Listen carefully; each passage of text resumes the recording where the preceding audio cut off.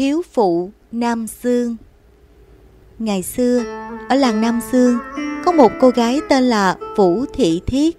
Người xinh đẹp lại thùy mị nết na. Nàng lấy chồng là Trương Sinh, vốn là người cùng làng. Trương Sinh có tính cả ghen, hay để tâm xét nét vợ. Vợ chàng luôn giữ gìn khuôn phép nên không có chuyện gì xảy ra.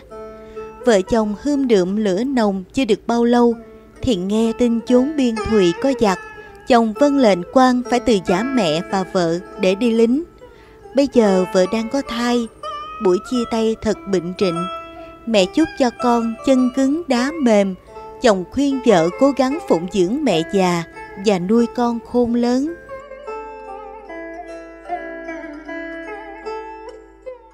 Chồng đi được hơn 10 ngày thì Vũ Thị Thiết sinh được một đứa con trai đặt tên là Đảng. Thằng bé sởn sơ mạnh khỏe, còn bà nội cháu vì nhớ con sinh ra đau ốm luôn. Vợ chàng Trương hết lòng tìm thầy chạy thuốc, nhưng bệnh của mẹ chồng mỗi ngày một nặng, chẳng bao lâu thì mất. Nhờ có bà con sớm giềng, mọi việc mai táng đều chu toàn. Đã mấy thu qua, không thấy chồng về, một mẹ một con mỏi mòn trong đợi ngày ngày chăm lo việc đồng án. Tối lại nàng mới có thì giờ chăm sóc con. Đêm đêm nàng trông đèn khâu vá, dọn dẹp và nô đùa với con. Những lúc con khóc, nàng thường chỉ vào bóng của mình trên vách và bảo Nín đi con, kìa, kìa bố đã về, đấy. Đứa bé nhìn vào bóng nín bặt. Cứ như thế, lâu dần thành thói quen. Đọc lại. Cứ như thế, lâu dần thành thói quen. Thằng đảng thường đòi gặp bố trước khi đi ngủ. Cái bóng đen đen trên tường từ đấy như người thân thích trong nhà. Rồi chiến tranh kết thúc. Những người lính thú được về quê quán. Trương sinh cũng vậy. Sau bao năm tháng ly biệt, hai vợ chồng gặp nhau mừng mừng tuổi tuổi. Chàng đau lòng vì người mẹ thân yêu không còn nhưng lại vui sướng vì có đứa con ngoan ngoãn, khấu khỉnh. Đảng đã lên ba, biết nói bập bẹ. Tuy nói để cho bố bế, nhưng vẫn tỏ ra xa lạ. Qua ngày hôm sau, Trương Sinh hỏi mộ mẹ rồi bế con đi thăm. Ra đến đồng, đảng khóc nhè. Trương Sinh dỗ dành. Con đính đi, đừng khóc, bố yêu. Rồi bố mua quà cho ăn.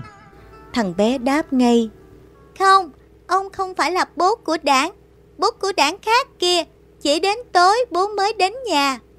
Nghe nói, Trương Sinh thấy nhói lòng, chàng nhìn vào con, hỏi dồn. Thế thì bố của đảng như thế nào, con nói đi.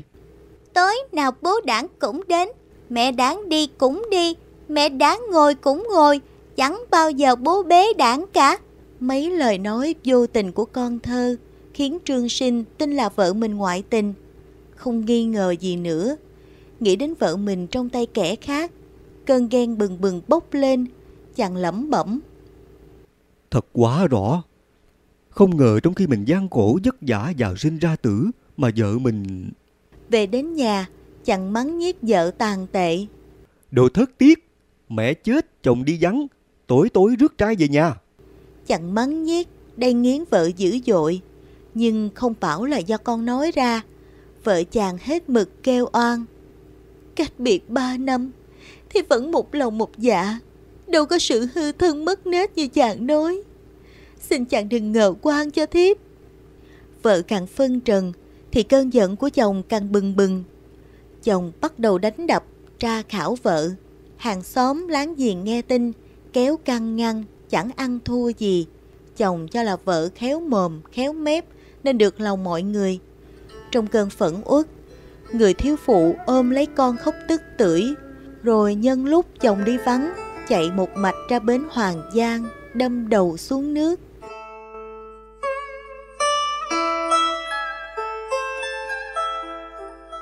Khi Trương Sinh về, không thấy vợ, biết có sự chẳng lành. Nghe nói vợ đã từ chồng thì rất hối hận, vội chạy ra sông. Nhưng dòng nước chảy xiết, Trương Sinh lặng đến tối cũng không tìm được thấy xác. Tối về, thằng bé khóc. Chàng thắp đèn dỗ cho nó nín. Chợt thằng bé kêu lên. Bố đảng đã đến kia kìa. Đâu con? Nó trỏ vào bóng chàng trên vách mà nói. Đấy, đấy.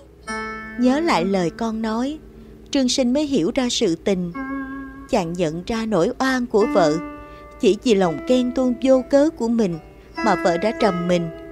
Nhưng đã muộn mất rồi, không thể cứu vãn được. Chàng chỉ còn biết ngày ngày ấm con nhìn xuống dòng sông mà khóc.